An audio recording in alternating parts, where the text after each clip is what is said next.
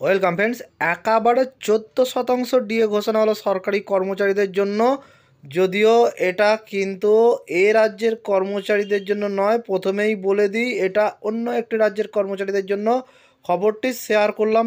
এই কারণেই যাতে আপনারা দেখেন যে একের পর এক রাজ্য সরকার কীভাবে ডিএ ঘোষণা করছে। সেই সঙ্গে দেখা যাচ্ছে একটি রাজ্য সরকার একসঙ্গে চোদ্দ শতাংশ ডিএ ঘোষণা করেছে। দেখুন, সপ্তম পে কমিশন এক লাফে সরকারি কর্মচারীদের চোদ্দ শতাংশ ডিএ বাড়ালো। এই রাজ্য মিলল বিশেষ উপহারও।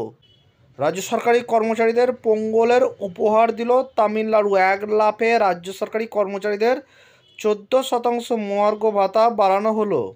তামিলনাড়ুর মুখ্যমন্ত্রী এম কে স্ট্যালিন নির্দেশ দিয়েছেন রাজ্য সরকারি কর্মচারী, পেনশনভোগী, শিক্ষক এবং পারিবারিক পেনশনভোগীদের ক্ষেত্রে ডিএ বাড়িয়ে সতেরো শতাংশ থেকে একত্রিশ শতাংশ করা হবে।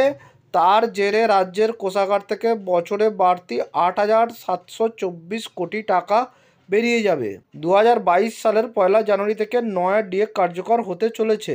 সেই সঙ্গে গ্রুপ সি এবং গ্রুপ ডি কর্মীদের জন্য পঙ্গলের উপহার ঘোষণা করেছে তামিলনাড়ু সরকার।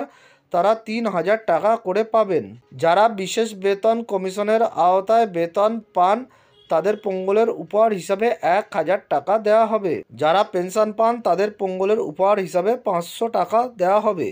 দেখলেন এই তামিলনাড়ু সরকার এক লাফে কিন্তু সতেরো থেকে একত্রিশ শতাংশ ডিএ করল, অর্থাৎ কেন্দ্রীয় হারে ডিএ পাবে এই রাজ্যের কর্মচারীরা। খবরটি এই কারণেই শেয়ার করলাম, যাতে আপনারা দেখেন যে এই রাজ্যের কর্মচারীরা কীভাবে তারা ডিপ্রাইভ হচ্ছে, তারা ডিএ পাচ্ছেন না, তাদের ডিএ কিন্তু অনেকটা বকেয়া রয়েছে। জানুয়ারি মাস এসে গেল এখনও কোনো রকম ডিএ তাদের ঘোষণা করা হলো না। ধন্যবাদ।